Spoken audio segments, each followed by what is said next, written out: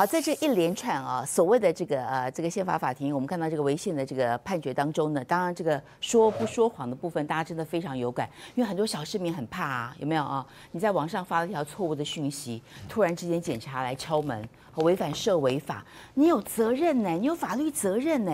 但是官员手上握有这么大的权力跟预算，在我们的国会当中可以不讲实话哦，免罚。你能接受吗？我想这是大家哦，不管蓝绿一致的共识，我很难接受吧？啊，这个标准太不一样了。我继续问一下这个苑老师哦，那我们就推到极致。刚刚亮哥讲，民进党真的很聪明啊，超前部署。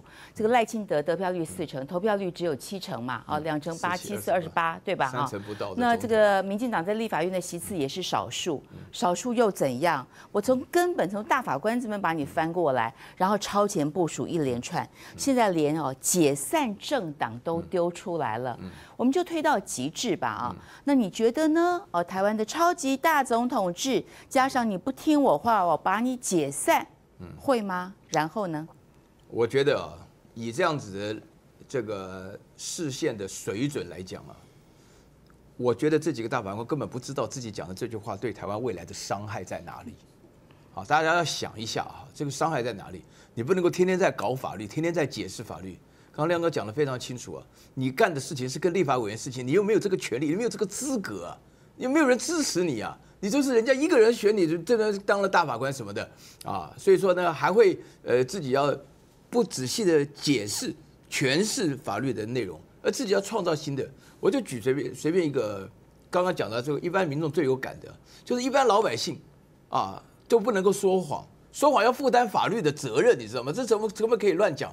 那我们现在讲到说，政府的官员讲到说，问你那个高官的疫苗为什么不买 B N T 多少钱啊？如果你讲的高端疫苗发五块，B N T 的话是四十五块啊，讲完以后是谎话，然后你就是过关了以后，人家后来发觉是谎话，然后呢，这个大法官的会议决定讲说，人是不应该说谎的，但是你既然说谎的话呢，他也不应该拥有法则。他政府的官员，那这个是什么道理？又要强调道德。首先，第一个，你这个大大法官，你解释这个法律当中的话，人家是说讲的非常清楚。你如果说谎，一般老百姓都不会说谎，你政府官员怎么可以说谎？就这么一个简单，这是个常识性的问题。他居然把它解释成是不应该说谎，没错，但是他不不应该受到法律责任，谁应该负责？由刑法单位来检查你到底是不是应该受到什么样惩罚。那谁这搞一搞，老百姓都懵了。所以黄国昌不就今天就讲吗？这个全世界独一无二，这官员可以说谎的，他完全不用法子。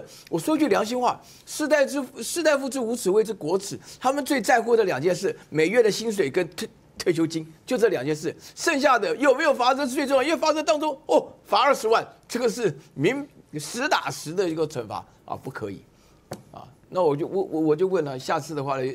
大法官本身来讲，做这种解释的话，你你你一般老百姓就会觉得很奇怪，怎么会有这种事情啊？后来他说了，说啊，这个是这个刑法单位来调查。所以你大法官在逾越的过程当中，你没有你没有任何的权利。我们要强调什么叫民主啊？民主这个是我们哲学界政治哲学基本概念。说谎刑刑法上没有罪了。不是他自己在那边讲的很清楚，说调查的是要刑法单位来调查嘛。这个是说他们自他他解释说这是政治事件，基于政治的理由要说谎。啊，为了要保护总统、保皇党，现在这个大法官成了保皇党，基于政治理由，你必须说谎的时候，那就让他说谎。这什么想法？你也不得不承认了，这个民进党真的是政治手腕很高了。我的意思说，他在立法院投票投不过你嘛啊，他用别的方法，不管怎样，我达到目的啊。所以这个超级大总统制在台湾会成为现实吗？那在野党呢？啊，你想想看，如果反过来，今天这一套是国民党搞出来的。你觉得在野的民进党会怎样啊？所以对于在野党，你觉得呢？未来守得住吗？我觉得啊，这里面啊，这个刚 刚亮哥也讲了，国民党没有办法学。这个如果是国民党搞出来我跟你保证，红三军啊，那对不不对，什么什么颜色的军都来了了，反正一定包围包围司法院。我刚刚想到这个几十年什么从太阳花了，什么自由女神啊，什么什么喇叭花，什么通通都跑来了。我跟你讲，这个里面本身来讲，因为大家一听到理解。我说句话了，在台湾的环境当中，这个例子是我从小活到大。我在了解这个过程当中啊，我自己觉得我没有属于那个人民主权的一部分了，啊，啊英文叫 excluded，我觉得我被排除在外。就说我所支持政党，现在这种情况下来讲，我觉得我没有属于这个人民主义。我我在台湾大学教书啊，如果我有这种感觉的话，这个这个后果非常严重的。以前的话呢，任何大小事情，以前一讲到民主，民进党还取名叫民主进步党啊，这个就这个多讽刺的现象啊！美国人不说话、啊，完全不说话。那如果我们的人民主权在哪里？因为我现在强调一件事情，就是说你现在拥有为什么？刚刚亮哥讲的清楚，我跟大家说明一下，为什么立法院通过的法律。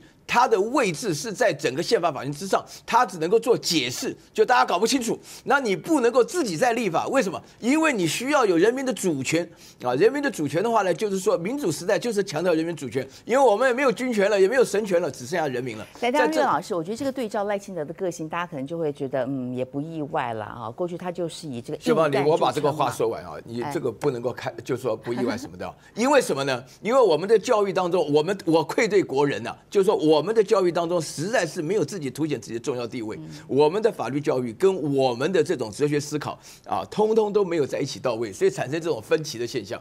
这个导致赖清德本身的话呢，这通通通通都是乖儿子乖孙子的，好的要命啊，对不对？然后他自己就你刚刚讲说他什么啊？他觉得太过分了，马屁拍的太多了，所以赖清德讲说，他说他愿意到我我愿意到到来啊，我要听他的宪法，但是你不要给我乱问哦，你问我拒绝答案哦。啊，那个他没有回答。呃，对，不是他本来就是这个意思嘛。我觉得会有很多不认同这个宪法被诠释的结果的人，会觉得说他们不属于这个人民主权中的一部分。你知道这个后果是非常严重的。嗯嗯。好，我最后让亮哥补一下啊，你觉得现在是不是到了一个非常时刻，再也应该使出一些非常手段？这个挡不下来还得了？我这个没有什么挡不挡的啦，因为我们的宪法法庭做的视线就是 final。是。那接下来就是，呃，你要不要根据他所讲的来修法？那他通常会有一个期限啊，知道我们同婚就是这样过的啊。那那个废死国民党就不理他嘛，国民党决定要在二零二六年推公投嘛，要绑那个县市长选举嘛，啊。那这一个我也不认为蓝白会理他了。那可是问题就是，你以后委员会要成立调阅委员会啊。民进党就会说这个不合法，他就会这样搞你了，啊，啊，那那就来嘛，以后周二、周五大家都来排队成立调阅委员会啊，因为他他主张这样嘛，啊，那至于官员说谎，那官员说谎以后如果被抓到，我们依法不能罚他嘛，那我们就用政治力量不准他上台啊，反正就用政治嘛，因为他他认为那是政治嘛。这不不是法律所可规范的事项嘛？因为你输出刑法就等于是放屁嘛，因为刑法没有这种罪嘛。对呀，刑法没有说谎这个罪嘛，所以这个完全就是基于民主制衡的原理才有这个规范，而且各国都有，藐视国会罪各国都有哎，啊，事实上那个以前川普那个经济顾问，他就因为藐视国会去坐牢，你知道？那个 Navarro，这个大家都知道的事情，结果他竟然眼睁睁的说没有这件事啊！那当然，另外一个就是针对司法院本身的制衡啊。那这个有两个部分啊，一个就是以后不要让他乱视线，所以宪法诉讼法一定要修啊。我至少要给你弄到三分之二啊。那至于原额怎么算再说。那另外一个啊，哎，司法院如果认为这样，你还要来。威胁什么解散政党，那就把他的预算也删了啦。这个叫做院与院的对抗嘛。就是你自己都不要脸的，那我干干嘛要尊重你啊？就是这样嘛。不，政治本来就是这样嘛。就像卓龙泰这个礼拜五飞到立法院报告那个原住民补偿不可嘛，他要提出方案呐，不然总预算没有办法送送到立法院嘛，这已经卡住了嘛。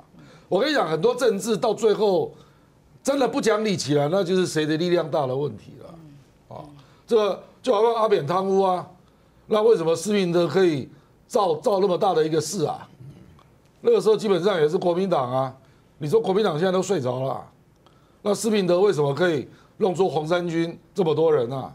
那个你如果把阳台全部都算在那天桥，那天大概有五十万人，那那个事为什么造得起来？所以我觉得有很多事情啊。不要去归因到说，哎呀，国民党本质跟民进党本质不一样。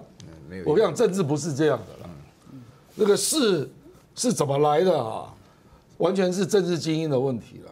所以你不要去归咎啊，说国民党的人就是不会啦，谁说不会？我就看到施明德、红三军那个事，就是比支持阿扁的事还要大。施施明德不是国民党，不，可是去的人大部分都是国民党啊，都是蓝的嘛。我那天有去啊，但是他不是国民党，就是我也搞不清楚，但是有很多力量，很多力量都去了。朋友都知道我是很挑剔的，防晒乳我选 Kiss 皇家呵护抗光清爽高防晒凝露，因为它有媲美蓝光神盾的抓藻植萃，保护我在阳光下延缓肌肤老化，维持青春弹力。可以防御工作环境里的三 C 商品，各种光源对肌肤的伤害，擦起来清爽不黏腻。我特别喜欢它做到海洋友善，三百六十五天，天天抗光抗老化，是我的保养日常。你呢？呵护您，呵护全家人，专属你的 KS Royal Care 抗光清爽高防晒凝露。